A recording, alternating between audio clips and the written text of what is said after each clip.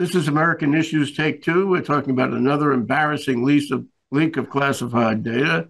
Uh, and, the, and, the, tagline is Why can't we protect our national secrets? This has happened before and it has happened again. We need to understand what our vulnerabilities are. The Washington Post reported um, that they were getting close. They were doing some wonderful reporting on this, but getting close to find out who the members of the gamer group were um, that might have been responsible. And surely, uh, just a few hours later, the newspapers, the Times and the Post, both reported that a fellow named uh, Jack Teixeira had been taken into custody as the primary suspect um, for leaking the information with the Air National Guard Massachusetts. Uh, we'll know more about this as time goes by, but it's hot. And for this discussion, uh, we're going to have Tim Apicella, Stephanie Stolt Dalton, and, and Jeff Portnoy right now.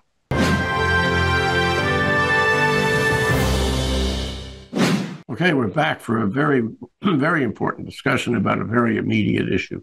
Uh, Tim, so th- they arrested this guy, um, and he is the primary sp- suspect. And we get to know from the newspapers, from the Washington Post and the Times, a bunch of young kids. And uh, this fellow Teixeira was uh, in the National Guard, and, and he had a little gamer group going on on uh, a gamer site called Discord, which I can tell you more about. But uh, what does this all mean?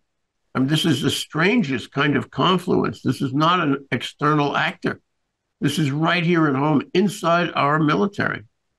What are your reactions? Oh, my reactions is um, there's too many people that have access. You got a 20 year old young adult who has access to the most sensitive documents, not only access, but apparently was able to fold the documents and take off a, a secured room uh, only to be copied or transcribed and or photographed later on for his little chat game um, extravaganza. Uh, too many people have access to these documents, obviously, and obviously the protocols are not being followed. They're probably well in place, but they're not being followed. So um, where I come from, um, heads would roll. Yes, sir. Oh, Stephanie, let me go to you. The same question. Um, you know, what is what what what comes to mind on this? We we've lost a lot of intelligence here. We've been embarrassed, uh, you know, for the third time in recent years. Um, and um, we, we, what is our reaction? Uh, you, do you agree with Tim? I certainly agree with Tim. Good point. I think that um, for decades, or even maybe since it came out, the Xerox machines, copiers are are very easily accessible wherever I have worked in, in a variety of places. And I even found one person was copying a book on it and uh, so people are in there at night a day. So so I, as tim said the, the access to this material is is at way too low a grade level or pay level. So i believe um, there should be some concern. I think we we're all concerned. I mean is this the next one since snowden? Uh, but these people are not only violating the copyrights uh, permissions um, and and of course you know going against what what are their um, duties to be uh, careful about? Security. They're in these groups. Why, why has it, this person was in a 20 to 30 people group. You mentioned the discord. Jay might tell us more about that later but i read about this his own group that he led the thug shaker central group that he's a part of. So here, you know, 30 people that are fiddling around with these ideas and then taking it to the next level whenever they're in the mood. And that seems to be what this alleged leaker has done. It's uh, totally out of line with any any employment agreement he has with. Any- let, me, let me go to you, Jeff. You know, back in, in the Snowden day, um, what was interesting in the press was that there were 2.5 million people in this country uh, held top top secret clearances. That's extraordinary. It struck me as, as multiples of the number of people uh, who had top secret clearances when I was in the service, but that was in the 60s and the 70s. Um, so, uh, what's interesting now is the newspaper reports that um, even after the experiences we've had with Julian Assange and with Snowden, um, the number of top secret clearances has not reduced, it's been increased. It's now 4.2 million people have these clearances. Um, something is wrong in Mudville, don't you agree? Well, know, Trump had these documents in Mar-a-Lago. What's the big deal? I mean, I, I'm I'm not as excited about it as you are. I mean, uh, if you think a 20 year old got access, you don't think the Chinese and the Russians have had this all along? I mean, come on. We're talking about a pimply, acne kid at 20 years old, and you're thinking the Chinese and the Russians don't have the same documents?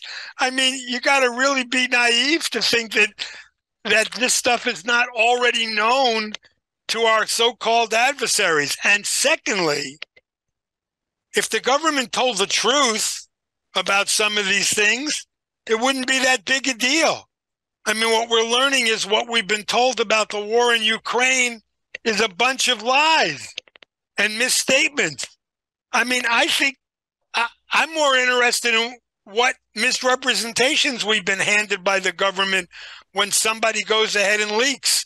So, you know, I'm not that excited about it. I don't disagree, by the way, that there's a serious flaw in our system when, as you point out, a 20 year old guy who used to be in the National Guard or whatever can get access and then share it with his friends in a chat room. I mean, there's a serious, serious problem.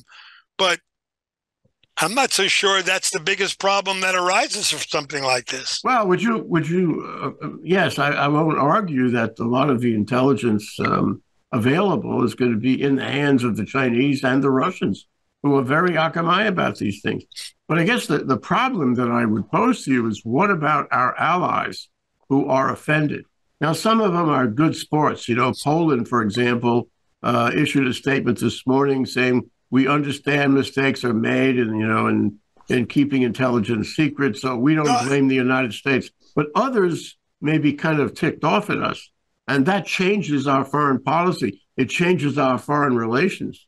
Isn't that a problem beyond what Xi knows and what Putin knows? Yes, but if any government thinks that we're able to keep our secret secret, they're being naive. I mean, first of all, much of this was probably shared, except the embarrassing things when, you know, we say stupid things about other countries. Uh, and, and, again, you know, I'm not belittling, you know, releasing the names of uh, of uh, CIA agents. We're not talking about that uh, at the moment. And I, I, you know, clearly that or putting people's lives in danger, which was the argument used against Snowden, yeah. uh, although I don't believe anybody was ever assassinated. I mean, there's always this, oh my God, overreaction. But the one thing I full agreement is what the heck's going on with our security system, whether it's NASA or the CIA or whatever secret organizations the government has, when somebody like that can get access to material that he never should have access to. What was mm-hmm. his job? Uh, I don't know. Communication. He was a communications specialist. Communicating with who? Foreign governments or? No, he was no. He was a facilitator to allow communication of of um, you know military messaging messaging.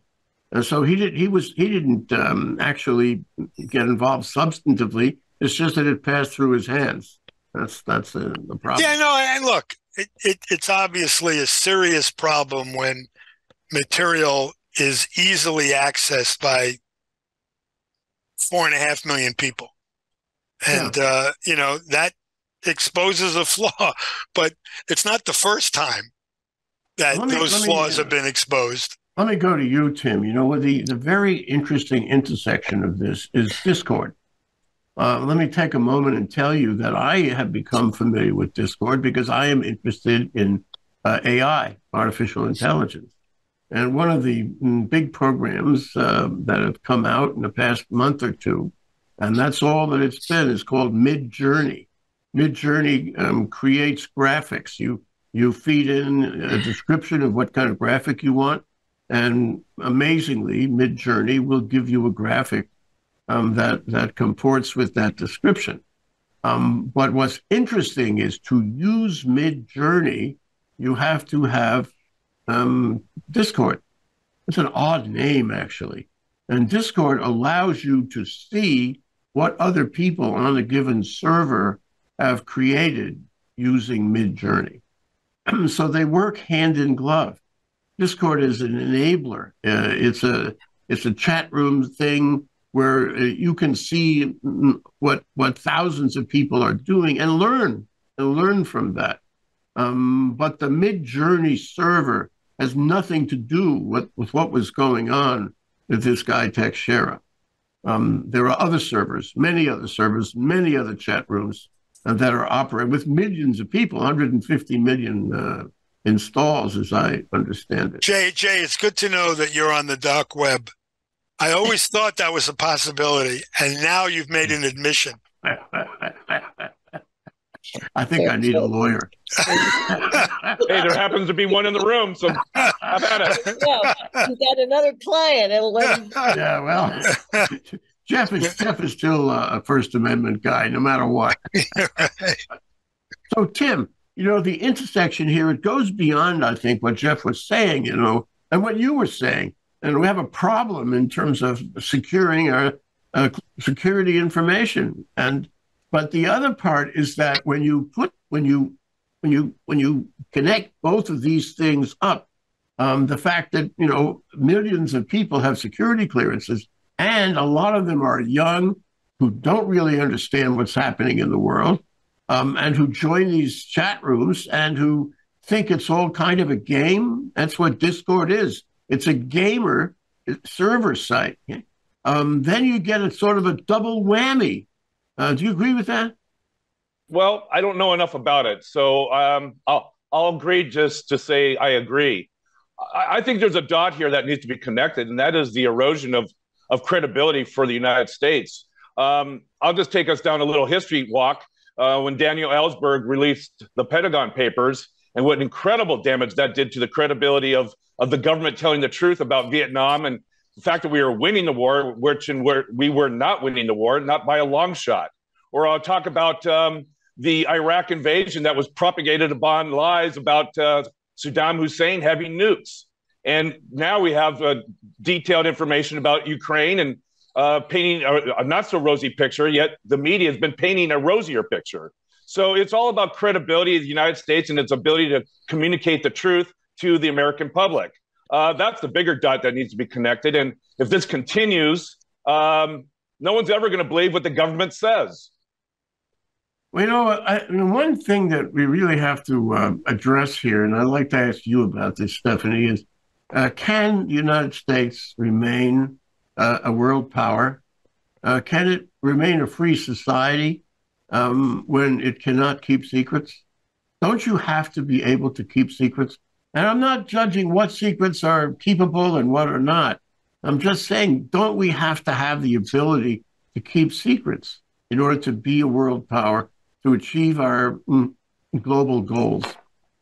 Well, I, that's a great question. I, I, mean, certainly this is, would relate to our policy making, um, as well as to um, our our capacity to protect ourselves. I, I mean, that's that that's what's completely astounding is that these people have access somehow to these servers and to this activity because this takes some time but I've also come to understand that there's a big payday for all of this. I mean, I recently heard from a Bulgarian colleague who, has been called by people in Bulgaria asking him just to send some drones, you know, like the kind you take pictures with, because they they want the drones to like carry a grenade over and drop it at wherever they want to drop it.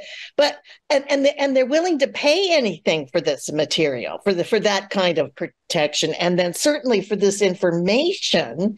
I am sure there's plenty of money out there to support obtaining these documents from people that are factless and sitting at these computers. Well, there was, there was no money here, not that we not that we know of yet.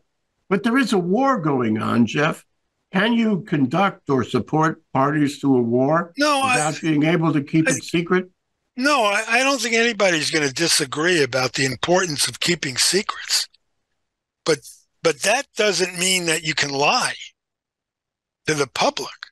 I mean, that that's the disconnect. I don't think clearly you got to keep secrets, important secrets, the names of undercover spies, uh, although you can't use that word anymore, and you know, secret diplomacy and stuff like that. I agree with take, that. Let's take the one that really bothered the Ukrainians, where we said, you know, they were vulnerable, they didn't have the ammunition, um, that they were not likely to win the spring offensive um, and made them look like they were weak. And, and of course, part of you know their program is not to look weak, even if they are weak. Now, this all came out. This has an effect on the war. Not not you know even if you say that Vladimir Putin knew all of this, he knew the Ukrainians were weak. It's the others who might support or not support the Ukrainians. What what was that? Provide the ammunition yeah. and the fighter planes and the tanks. What was the movie? Was it Dogs of War that talked about misinformation? Uh, tail that wagged the, the dog. That wagged the dog. Oh yeah, same thing, same movie. Uh, I'm just dyslexic. I just uh, mixed it up. Um, you know, I, I, I, I, I, I don't think. I mean, I know I don't disagree with you that secrets are critical, and that this is this should never have happened. And you know, heads are going to roll somewhere, and then it'll happen again five years from now. uh, but but it exposes both to the people of this country and to the world lies that we have been telling people. Give me an example. Internally and externally. Mm-hmm.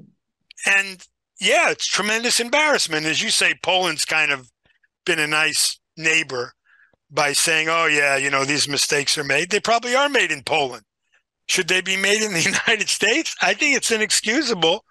And, and, and it just shows you how vulnerable our system is who, to these who, kinds of hacks. Who's at fault? I mean, if, if Congress, Congress will politicize this issue, guaranteed. And, and that means oh, they're going to blame the president, of course. Yeah, well, and and the and the Democrats will blame Trump for you know the systems that weren't improved. Um, but who is actually at fault from what we know?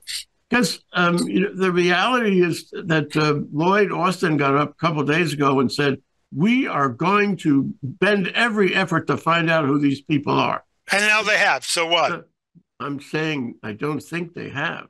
Because what happened is the Washington Post did the investigation. They really got down on it, uh, more than the Times, as far as I can see. And then almost immediately thereafter, the FBI, that's the Department of Justice, not the Department of Defense, made an arrest.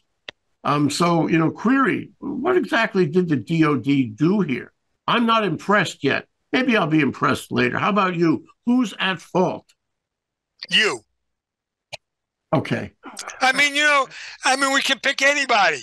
I mean, they're going to take the low hanging fruit and make them pay. That's the reality.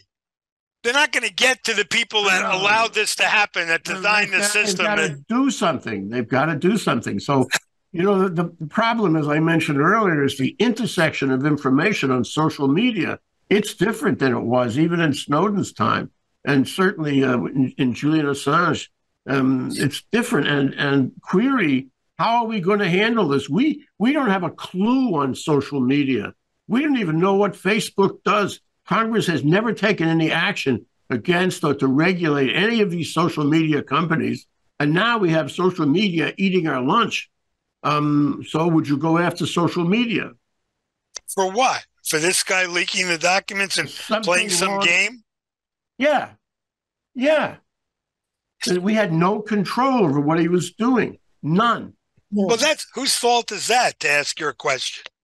Well, maybe it means Congress has to assert some. Do control. what? Do I, what? I don't know. We'll have an investigation, you and me. hey, Jay. Yeah, Tim. Let me jump in. You know what? When the CIA has a leak, they sit everyone down under a polygraph and start asking questions. So you just start working your way up the ranks because you're right. This 21 year old didn't come by these documents just by by by happenstance. No, it's true. But you know, th- there was this uh, cell, this this uh, group of a couple of dozen young people like this, and and most of them thought it was a kind of joke. Most of them thought it was a game, like Discord has. Discord is a gamer's site. Well, to use Jeff's terminology, this pimple-faced kid 21 year old kid was feeding his ego by sharing uh, classified documents. Hey guys, look what I got access to. Exactly. That's, exa- that's exactly right. But we cannot afford to have that happen. And it, it's more sophisticated. Well, you better start talking to the generals and the uh, colonels and the majors because They're allowing it to happen. But, but okay, uh, Stephanie, you had a point. Jay, I have a point. To me, it it re- resonates the the archives problem. Okay, that all these presidents and people and that have worked for the the executive branch have these documents. All of a sudden, you find out you have a document in a box of things you opened up when you thought all this stuff was put in uh store, you know, uh archival storage with accession, accession numbers and sealed boxes. And I mean, uh, there, there there's this going on all the time in the executive branch. And then you find out, well, no, I mean, these documents are also all these other places. So the question to me is, who, what is this? As as you all have asked, it, it's a it's an executive branch problem um, for the, the secret and top secret documents. The the um, archives has got to expand here and do something about their systems of tracking and storage and uh, rotating these documents around. And then, plus, the issue that's coming up in the discussion is who gets them, who's going to see them. And the other issue is, of course, what needs to be classified. Most of this stuff is certainly not going to turn any heads. That's classified top secret. You know, it may may not be that all that are classified that way are warranted. So I, I'm seeing that this is a big project that needs to get started. And then also, how do people get access to um, to uh, these servers that they're not supposed to be on? Where's the oversight for who this 21 year old kid get gets to access? Why are there not firewalls Well, he, against he all had he had legitimate access and and Well, he NSA, I mean. NSA I, I want to go to Jeff about the, his Yeah. comment about this kid who was pimply faced kid. By the way, we have no evidence that he was pimply faced or anything else about his complexion. But let me say this: you know, there's an attitudinal thing here. It's the attitude of this guy, these guys in the group, you know, in the in the um, social media group, um, and there's a, an attitudinal thing about him.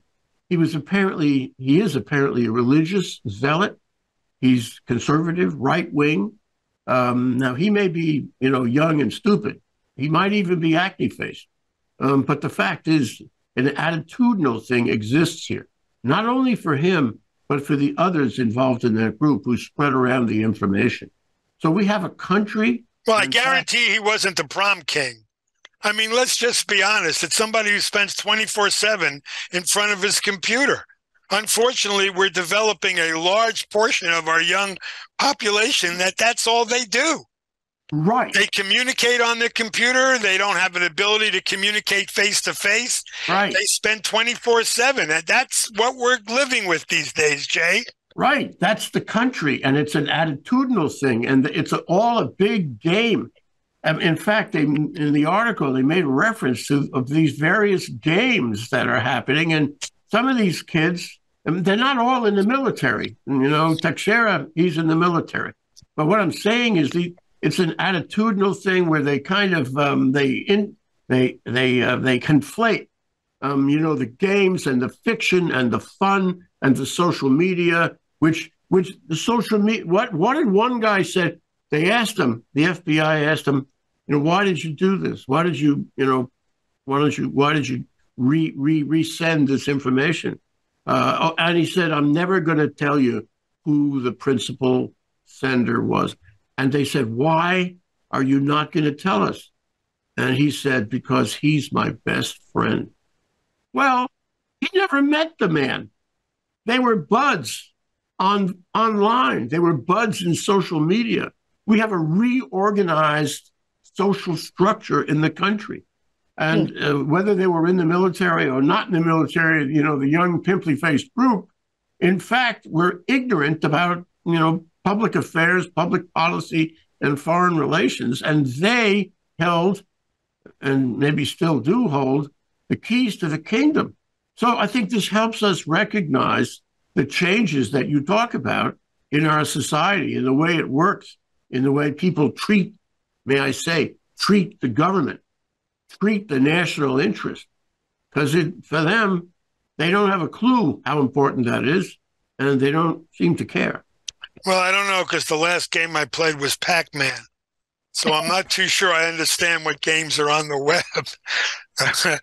But, we, have, uh, we have to do remedial remedial work with you. but does it is it is it is it an, a, an important fact that he's a conservative religious zealot? I mean, Yes.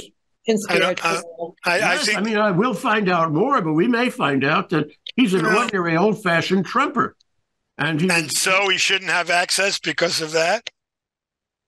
uh, is that I what you're saying? I, I, no, I'm not going to make That's that pretty elitist, Jay. That's pretty elitist. Well, I, I, let me say, as a matter of principle, if I were the general in charge and I knew that somebody had those propensities, I would not want them handling national secrets. Now that comes up. That brings me now. that just brings up a whole other subject. There we go. There we go. All right, Tim, you. Um, what about that? What about that intersection? What about these kids who are playing games and don't have a clue and conflate, you know, fiction and nonfiction and don't seem to care if it affects the national interest? Well, I'm with Jeff. You know, these kids are spending too much time in front of the computer, making quote unquote friendships, and they've never met in person. Uh, the bottom line is our technology is outrunning our cultural norms, and we can't keep up with it. And that's the bottom, bottom line. And until we start putting um, a little bit of thought into how we're operating our society and how we're operating the rules of our society, uh, you can expect a whole lot more of this and a lot worse. Oh, I know. I hear what you're saying. We have to get Congress to have hearings. No, I didn't say Congress because they're do nothings. Well, who, who then? Uh, you, I thought it was you or maybe Stephanie. no, you, Jay. You know, that, that's the problem. You When should- Congress, Congress started to investigate Facebook a couple of years ago during the Trump administration. And um, what's his name came down there and confused them all. And the staffers were confused. And the committees got nowhere. And they put it on the back shelf for a year. And then presumably they would be more akamai about, you know, what was going on and could ask better, better questions. Um, and, and it happened again. Zuckerberg came back and confused them again. And the, the, the bottom line there was that nothing ever happened. There's been no regulation. Congress is not up to this. This is specialized. This is high tech. This requires a lot of training and experience and, and focus, which Congress doesn't have even on its best nonpartisan day. Problem. Well, okay, Like I said they're a do bunch of do nothings. That's what I said. Well, I, I just think we need to get in there and get get it uh, under uh, corralled, leashed. We have to. The, even at the NSA and at these other defense agencies, um, there needs to be a review of by Congress or a select committee or by the executive branch. Biden.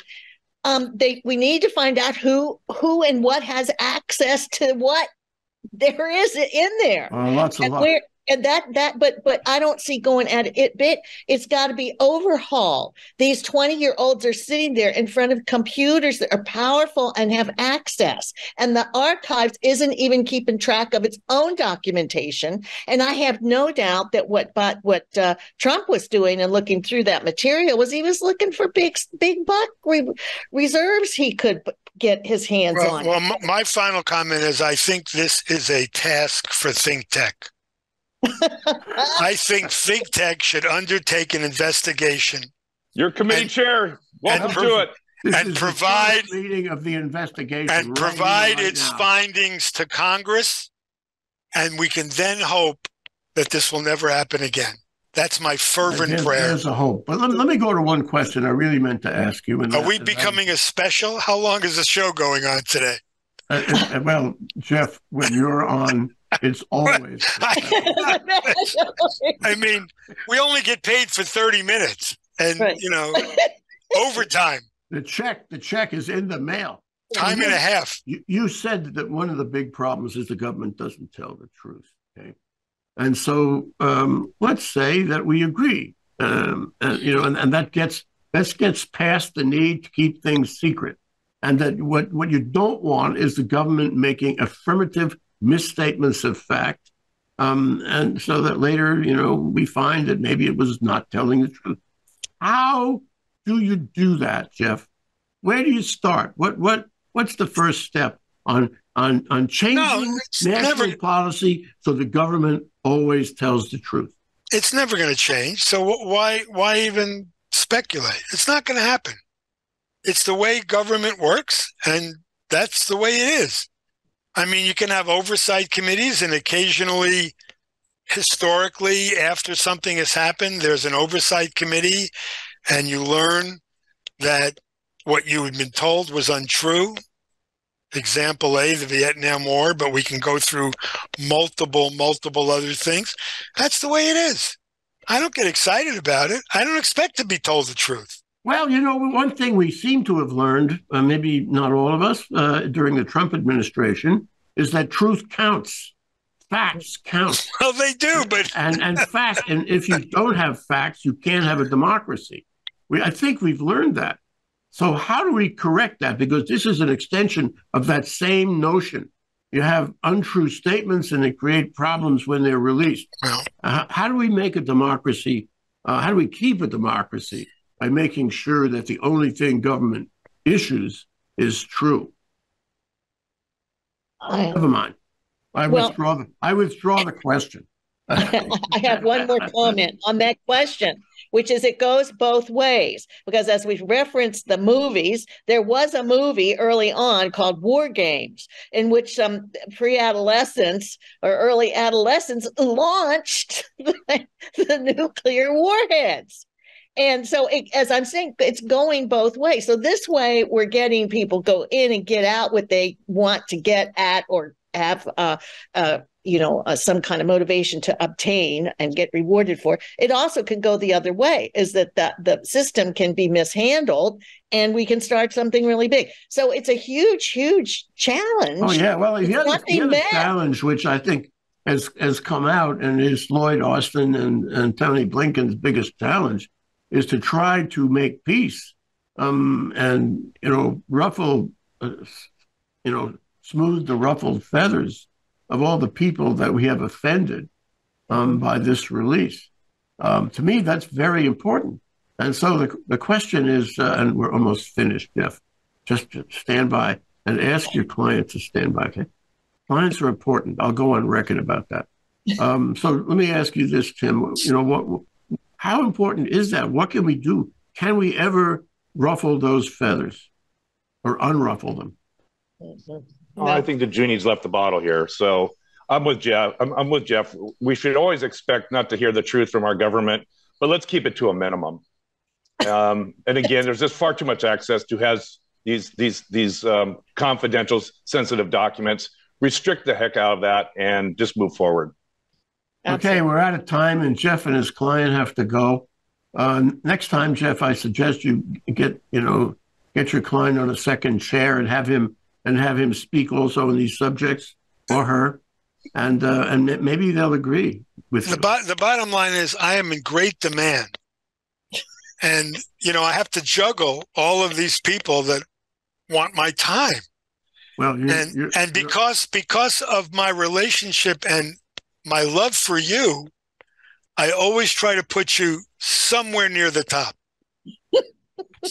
Jeff, Here, Jeff, here. when the when the You're good, investigation committee is established, behind you on we that. need you to serve. Oh, by the way, am I telling the truth? We'll never know, will we? Very but we'll good. defend your right to say it, whatever it is. That's right. All right, I think we got to go now because I, I don't want Jeff walking off the stage. Uh, thank you, Tim. Thank you, Stephanie, and thank you too, Jeff. That was a lot of fun. It always is. Great seeing you guys.